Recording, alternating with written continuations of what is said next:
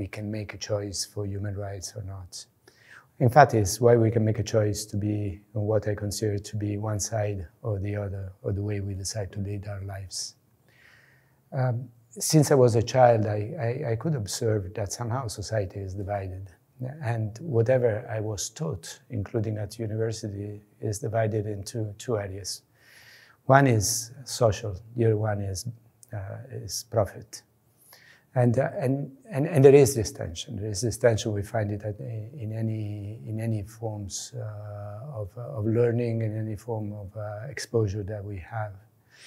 But at a certain point, there are, there are things that happen to you and, uh, and possibly sensibility. And everyone has got its own journey to decide to, to take something there rather than something else, to, take it, to give a certain meaning to, to life as compared to something else. Very often this is uh, due to personal uh, experiences. Uh, in my case, I, I uh, had a loss in my family and it was uh, my niece. And then my second uh, nephew, he also had a problem and he had to be rushed to a hospital for surgery.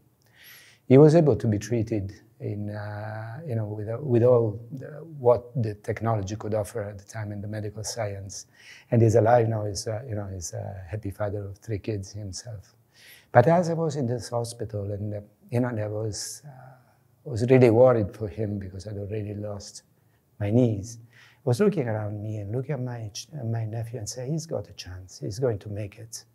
But then your mind goes to all the children who do not have this thing. And then and then you start asking yourself, why is it that some of us have you know, opportunities and other people don't? And I, and I think out of this, uh, this sense of inequality, out of this sense of unfairness, because that's, that's about it, it is unfairness. It's not fair that you're born in a certain place, you're born with a certain family, loving family, as compared to an abusive family. Uh, you're born in a rich country as compared to, uh, to a poor country. You're born in, uh, in, in, a free environment as compared to uh, in an oppressive environment. And that determines your life. As I was wondering what I would do with my life, and I was considering uh, that perhaps I should completely change my trajectory, at a certain point, uh, I, I, I, had thinking, and, and thinking hard is what is that I like about law? And what I liked about law is, again, the general principles. I liked some parts of the philosophy of law. I liked constitutional and public law because it's public. It belongs to everyone as compared to private, where I see that there is more this sense of, uh, of exclusion and privilege entrenched in, um, in the law at times. And I liked international law. International human rights law fascinated me because everything is, is about us, is about the individual, is about the person who has not. Uh, it, is, it is about making us believe that we can be equal. It's about ethics. It's about, as uh, to paraphrase, about to use or be inspired by former Deputy Secretary General Eliasson, is about the world as it should be. And that's what the United Nations are all about. Working for human rights is not easy. It's not always easy because we face many frustrations, but in the, in the meantime, we are driven by, by the conviction we're doing something helpful that hopefully is going to be helpful to, uh, to other people. Uh, I, I, began being associated with uh, non-governmental organizations, and, uh, and I was based in Hong Kong, which at the time was still a colony. Um, and, and it was a regional organization. That gave me the opportunity to travel, to, uh, to, do, to uh, to live in solidarity because with, uh, with people who are really excluded from society, whether it is India, whether it is Africa, whether it is Western countries, because you have the same thing here, that people really live at the margin of society. We walk around misery and we don't see it. We walk around exploitation. We don't see it. Living in Geneva, you, you seem to live in a place which is, is a beautiful place. got everything for everybody, you think. And then COVID comes. And then I take my kids for a walk along the, uh, the river, the Arve. And there, there was a food distribution point. And here is this long queue, more than a kilometer long, of people queuing up for food here in Geneva, which is one of the richest places on earth. People were queuing up for food, and those were not the people you would expect. Were not the, the, the people you expect to sleep in the streets. Were family with kids. There were elderly couples. I mean, there are people who are not taken care of even in these societies. This is what human rights is all about. Then, human rights is also something else. Human rights is trying to fight against violence, is trying to fight against unnecessary killings, uh, is, is to fight against societal crisis, is to fight against systems. After serving in, uh, in Hong Kong, I had the opportunity, I, I went back to Italy, and that was before, still before joining the United Nations. And I joined the Italian, um, um, the Italian sector uh, of the uh, international campaign against landmines.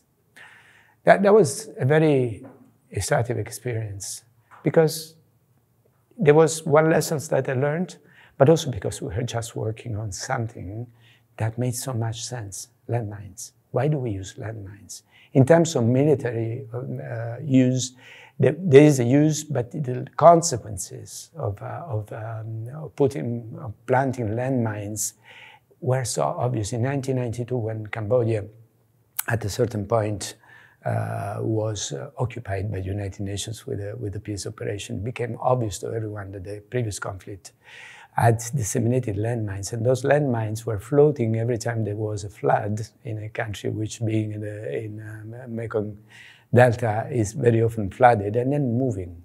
So every time there were so many children, uh, workers, uh, women, men, elderly that had their limbs amputated because of the stepping on landmines months and years after those had been planted that you really wonder whether you could make a military argument for the use of this.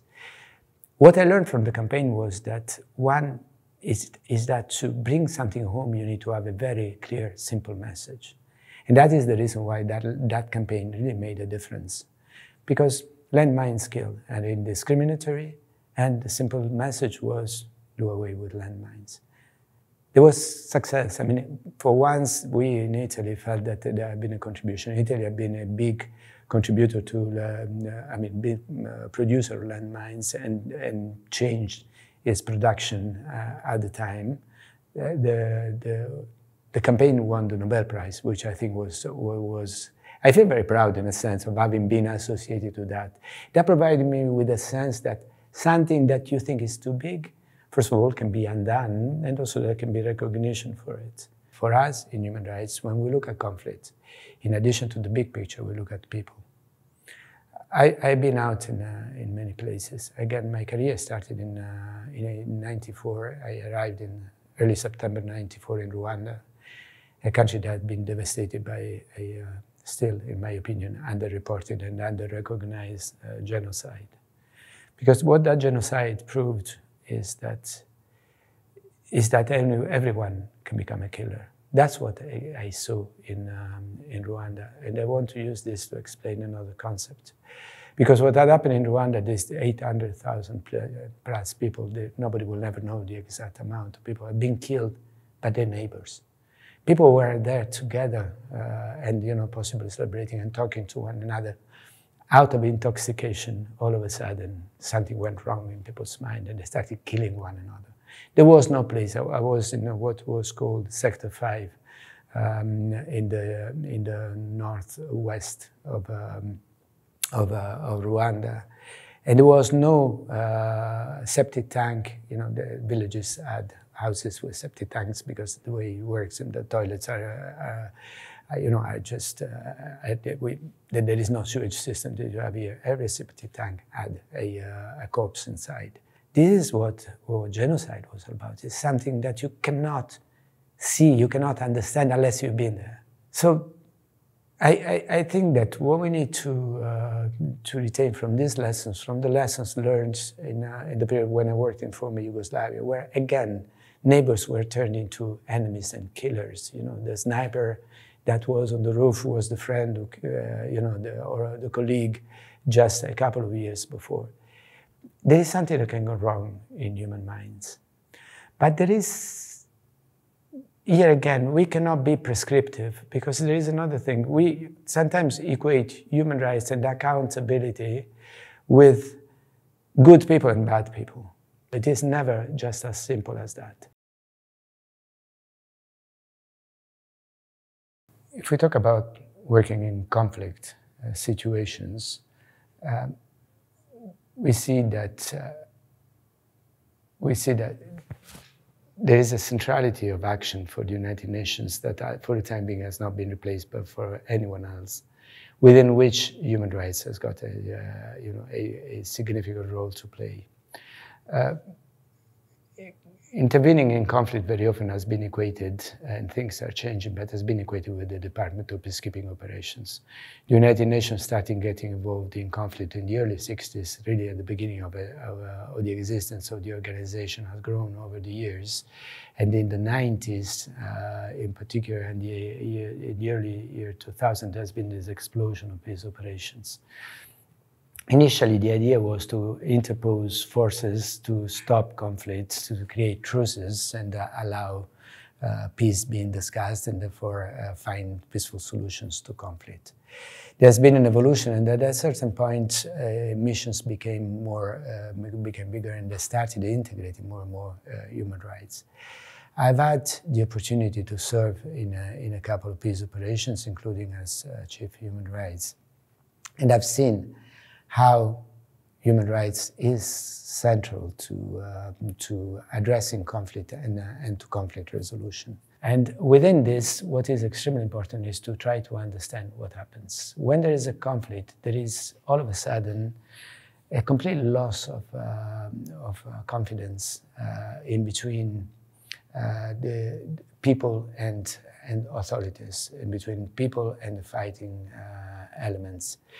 And that, and that, is, uh, and that is something that the United Nations needs to be very attentive to. Working for human rights is, uh, is an issue that, contrary to what a, a quick reading uh, of uh, human rights work could suggest, is all about confidence building. Being able to monitor what happens on the ground, being able to be foot on the ground and talking to people and understanding what their fears are, understanding what is happening, understanding and reporting what the abuses are, give an opportunity to authorities, and when authorities have failed to the uh, peace operation, to step and respond to what are the rightful demands of people. What human rights have got to offer in any given situation, but particularly in conflict situation, is that we talk to people. Uh, I, people are our constituency. The old concept of uh, protection of civilians at war is a byproduct, if you wish, of our work on human rights.